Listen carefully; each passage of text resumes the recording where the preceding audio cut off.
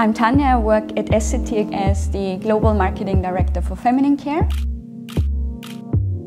Our brands Bodyform and Libresse have been known for destigmatizing periods and vaginas and vulvas. When I joined uh, the feminine care category roughly five or six years ago, what I found is a brand that was adhering to all the cliches and advertising stereotypes, you know, women rollerblading, wearing uh, white pants. And I thought we don't need a period pet brand to put even more pressure on women. So what we did is we changed the entire purpose because the more we researched, the more we understood that just you know providing products that absorb blood is not sufficient and women can't walk away and be confident. It's a rallying cry that unites us across markets, across uh, agencies.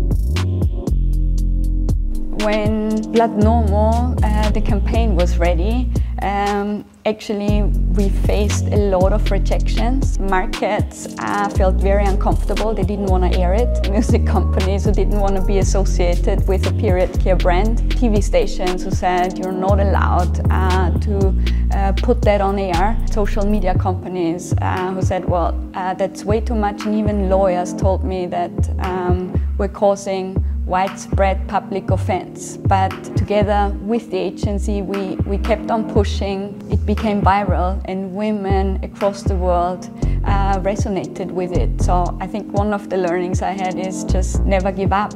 And ultimately by now, fast forward, uh, five years later, there is hardly any feminine care brand in the world that is um, still advertising uh, blue liquid because it's just fundamentally wrong. Women bleed blood.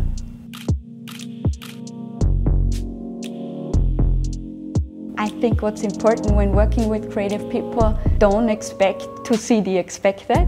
Also avoid um, creative development by committee because that just kills uh, all creative work and then I think really try to give freedom to let talent shine. If I think of brands that I would love to work with in the future, I think it comes down to two things. One, I really want to do marketing for and with women. Uh, and the second one is I need to be allowed to drive change, uh, to really uh, address anything related to uh, gender equality. And then uh, the brand uh, that allows me to do that, I'm totally ready for it. I was really overwhelmed with the amount of hate, but at the same time it also taught me, you know, not to give up because if it was easy, everyone would do it, but it's really, really hard. What we achieved with Blood Normal uh, was we overturned uh, advertising bans. We changed advertising regulations and I think we transformed the feminine care category uh, forever.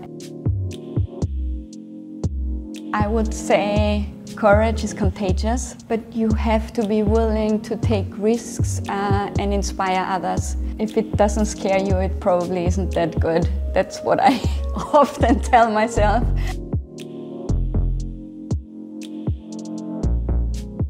I absolutely believe that marketing and advertising can change the world because our brands, uh, we're the number five brand in feminine care globally. We reach more than 300 million uh, women. So we are given a lot of budget and I think that comes with the responsibility and we better do something to leave the world in a better place. And I think that's also what gets me up in the morning, gets me out of bed.